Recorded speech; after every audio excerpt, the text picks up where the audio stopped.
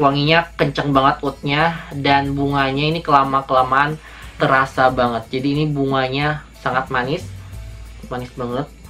Dan wangi woodnya sangat kenceng guys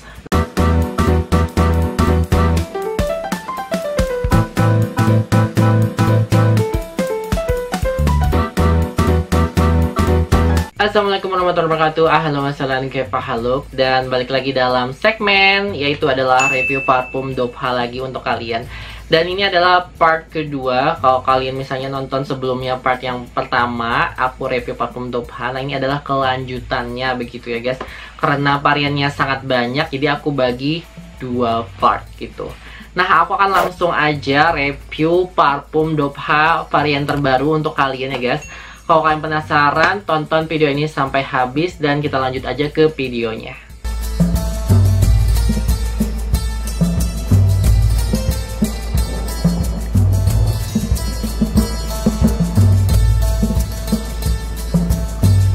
Nah, buat kalian yang penasaran wanginya apa aja di part kedua ini, aku akan review. Jadi aku akan tunjukin dulu ya. Nah, ini ada Jaharat Hawaii.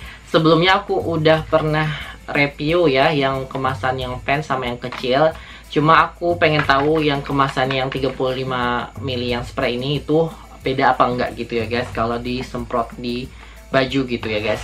Terus ada varian yang bakhara nah ini aku juga penasaran wanginya ini tuh kayak sama persis nggak sama yang parfum bakhara terus ada wangi utbukia. Ini penasaran banget juga aku pengen cobain dan ada varian Harman. Ini aku juga penasaran wanginya gimana. Dan ini ada varian Extreme.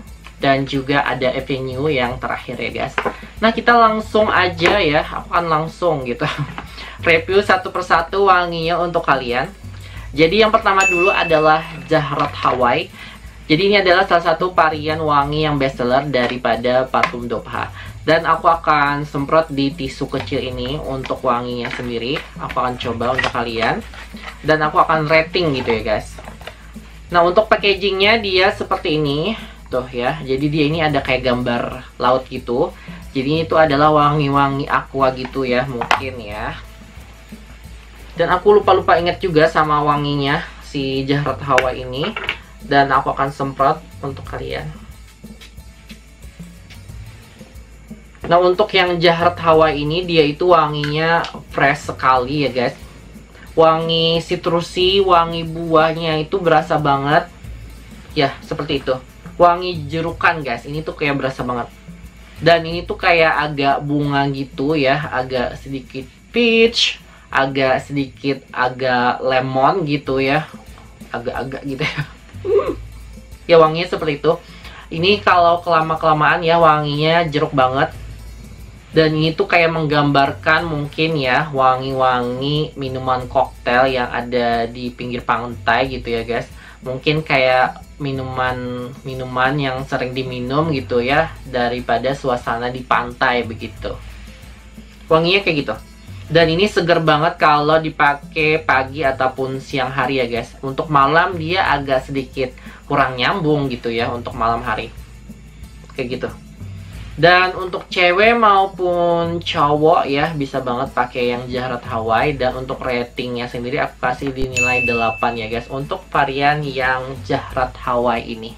Terus selanjutnya itu adalah yang varian Baccarat Rouge 540 ya. Ini tuh kayaknya dupe daripada parfum Baccarat yang itu ya. Dan packagingnya seperti ini warna merah dengan gold gitu ya guys. Dan kalau dibuka ya sama aja seperti yang si jahat Hawaii. Cuma ini kayaknya agak botolnya agak sedikit beda ya guys. Kalau yang ini agak sedikit tipis kalau yang ini agak tebal ya. Mungkin ini botolnya agak berbeda ya. Ya kayak begitu. Ini agak tebal gitu. Dan untuk wanginya aku akan semprot untuk kalian. Di tisu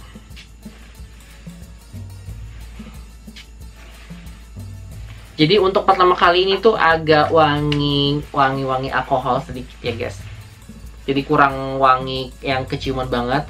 Dan menurut aku ini tempat pembakarannya ini agak sedikit light jadi nggak terlalu yang kayak yang bakara pada umumnya kalau bakara yang pada umumnya itu wanginya tuh kalau di awal tuh kayak kenceng banget ya guys wangi saffron wangi ut-utnya gitu kalau ini tuh kayak wangi utnya agak sedikit woody ya guys jadi kayak agak wangi-wangi ut yang mengarah Arabian gitu sedikit gitu ya wanginya. Jadi ini menurut aku wanginya bakaratnya terlalu yang light kayaknya. Terlalu yang ringan gitu. Mungkin dia ini menyesuaikan untuk dipakai harian kali ya untuk yang bakara ini. Ya wanginya gitu. Dan utnya ini berasa banget guys waktu kering dan ini kurang kenceng guys wangi saffronnya jadi menurut aku kalau untuk ratingnya sendiri kalau untuk sama persis sama bakarat yang itu ya menurut aku nggak terlalu yang kuat gitu wangi bakaratnya. Cuman kalau untuk harian dipakai ini cocok banget guys. Jadi aku kasih nilai ratingnya ini dinilai 8 aja guys untuk yang bakar ini ya guys terus selanjutnya yaitu adalah varian yang wangi Arab-Arab lagi gitu ya guys yaitu adalah Oud Bukia nah Oud Bukia seperti ini uh, packagingnya dia ini warna kuning ya dengan ada warna pink dan juga ada bunga-bunga gitu dan di belakangnya warna putih. Dan aku akan buka untuk kalian. Nah untuk si cairannya dia ini warna kuning ya guys. Kalau yang bakara ini warna putih aja gitu ya beda banget kan ini botolnya juga beda. Yang ini agak tebal yang bakara. Terus aku sempat ya di tisu lagi.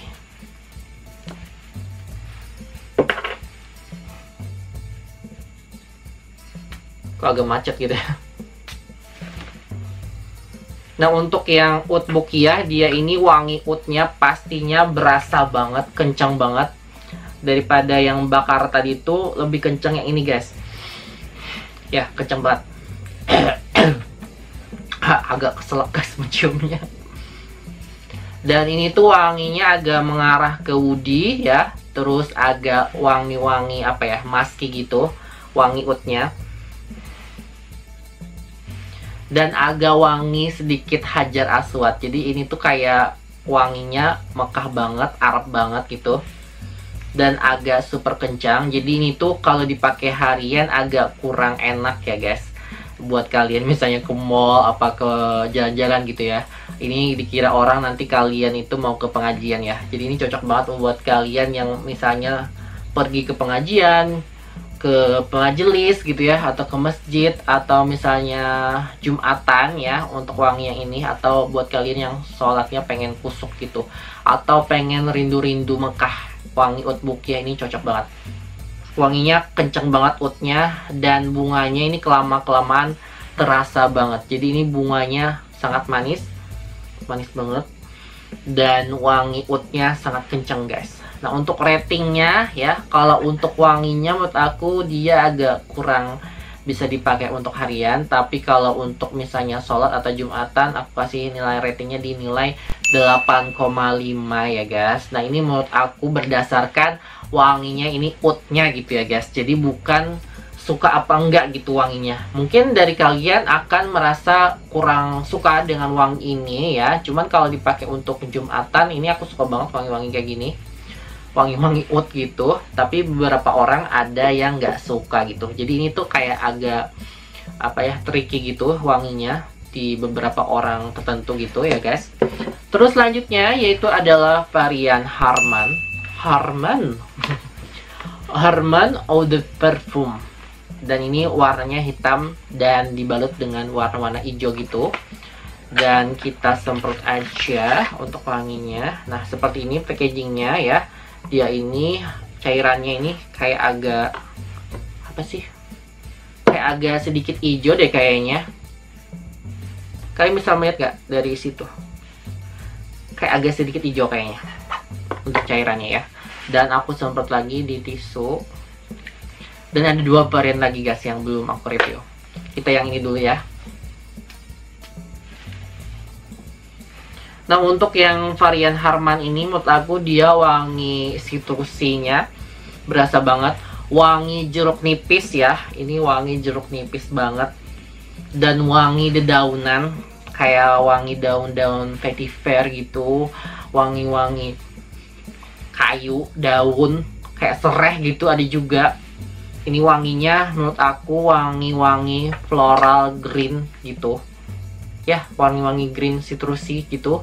Jadi buat kalian yang suka wangi alam wangi-wangi pohon wangi-wangi yang sangat-sangat ada kayak daunnya gitu ini wanginya kayak gitu. Jadi buat kalian yang mau mencium wangi-wangi seperti itu wangi-wangi di hutan agak wangi-wangi sedikit jeruk nipis. Ini Harman wanginya seperti itu guys. Ya wanginya jeruk banget wangi jeruk nipis banget jeruk dan jeruk nipis gitu. Dan agak sedikit rumput-rumput.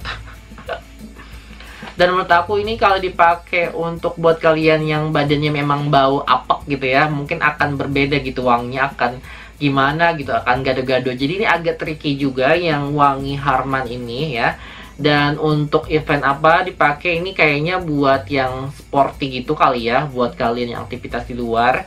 Dan untuk acara forma atau kayak untuk ngedet atau misalnya untuk jalan ke mall ini agak kurang wanginya. Jadi terlalu yang flora green kayak jeruk nipis banget gitu. Ya kayak gitu.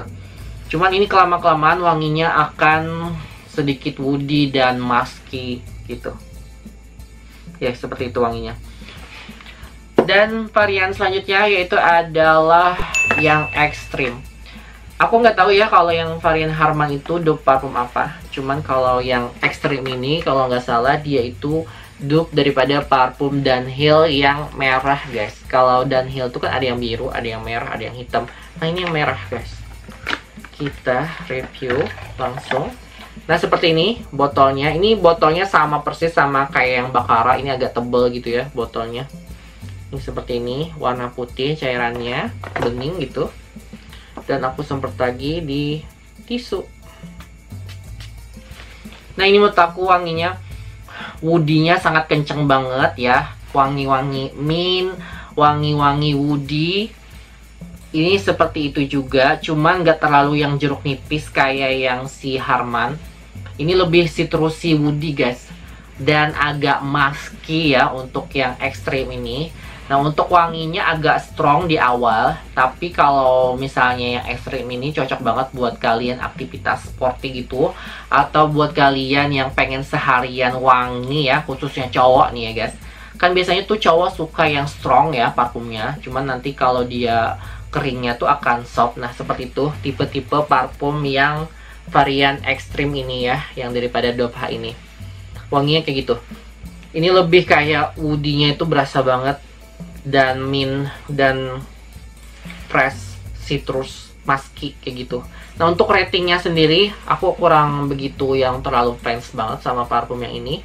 Aku kasih nilainya dinilai tujuh setengah aja. Terus selanjutnya yaitu adalah yang terakhir juga yaitu adalah varian yang putih ini. Ini adalah Avenue.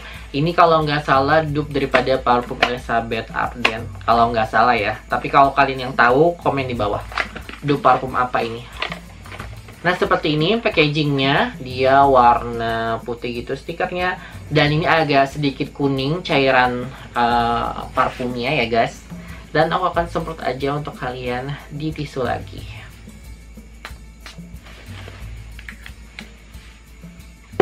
hmm, wanginya gimana ya ini juga wanginya kayak mengarah ke woody guys. Ya ini wanginya. Wangi agak sedikit woody agak citrusi agak sedikit mint dan juga agak jejerukan gitu yang avenue. Tapi ada wangi yang khas gitu ya. Aku nggak tahu wangi apa ini. Pokoknya wanginya tuh kayak agak sedikit khas gitu kayak gitu. Kayak agak sedikit rempah spicy gitu ya mungkin ini ya wanginya kayak gitu. Agak spicy sedikit yang Avenue ini. Jadi bukan parfum-parfum yang wangi yang apa ya wangi fruity gitu enggak. Tapi lebih kayak musky lebih woody kayak gitu. Dan juga agak sedikit wangi-wangi daun gitu ya guys pokoknya ini agak beda gitu. Aku nggak bisa menjelaskan. Cuma agak ada sedikit ciri khas gitu tertentu di parfum Avenue ini. Wanginya kayak ikonik gitu ya wanginya. Dan kelama-kelamaan ini wangi woodinya berasa cuma nggak terlalu kenceng kayak yang ekstrim ya guys. Jadi menurut aku ini cocok banget buat kalian dipakai untuk ke kantor acara tertentu ataupun misalnya ke mall. Ini kayak menurut aku nggak terlalu yang apa ya berlebihan gitu wangi woodinya ini dipakai harian tuh cocok banget yang ini. Dan untuk ratingnya sendiri aku kasih nilainya di nilai 8 aja guys. Untuk yang Avenue ya guys. Nah kayaknya segitu aja untuk kali ini review di part kedua ini parfum Dopha yang terbaru ya guys. Nah untuk uh, varian yang mana yang aku paling suka daripada parfum 6 varian yang tadi, menurut aku uh, yang paling aku suka itu adalah apa ya? Kayaknya Avenue salah satunya dan untuk uh, Bakarat ini aku suka juga untuk harian kayaknya kayaknya gitu Cuman ini bakaratnya nggak terlalu yang bakarat banget wanginya kayak yang seperti pada umumnya. Jadi aku lebih suka yang ini. Jadi nggak terlalu yang kayak sama gitu sama parfum bakarat yang pada umumnya orang pakai begitu. Nah kayaknya segitu aja untuk kali ini. Jangan lupa selalu budayakan untuk subscribe, like, dan juga komen dan share ke sosial media yang lain yang kalian punya pastinya. Dan doakan aku ya guys. Aku pengen rencana kalau ada rezekinya, kalau ada jalannya ya. Aku pengen umroh gitu. Nanti aku kalau misalnya umroh gitu ya. Waktu di Arab aku akan beberapa style aku pakai gitu. Salah satunya ini aku akan bawa banget baju ini ya ke Arab kalau misalnya aku jadi umroh gitu ya. Doakan aja guys. Dan aku udah beli kamera baru nih buat vlogging ya. Alhamdulillah sekali ya. Berkat kalian aku bisa beli kamera baru yaitu adalah kamera Canon. Kalau yang sekarang aku pakai ini adalah kamera Canon M10 dan itu tuh bagus buat foto aja. Cuman kalau video untuk di dalam ruangan seperti ini aku bikin ini bagus. Cuman kalau untuk jalan-jalan dia itu bergoncang gitu jadi kurang stabil. Dan ini aku punya Canon G7X Mark II aku beli yang second aja. Karena kalau yang yang barunya mahal banget guys. Tapi ini alhamdulillah sekali aku punya kamera baru yaitu Canon G7X dan ini layarnya bisa dilipat seperti ini. Nah buat kalian yang pengen tahu reviewnya secara lengkap untuk kamera aku yang baru ini nanti kalian bisa cek aja videonya guys. Dan ini aku akan vlogging gitu kalau aku misalnya ke Arab menggunakan pakai ini guys kamera yang baru ini karena kalau kamera yang besar ini yang ada lensanya itu susah dibawa gitu guys jadi ini aku akan bawa gitu guys dan terima kasih banget buat kalian yang udah nontonin ya video-video aku tentang review parfum. Dan kayaknya segitu aja. See you again di next review berikutnya. See you again. Wassalamualaikum.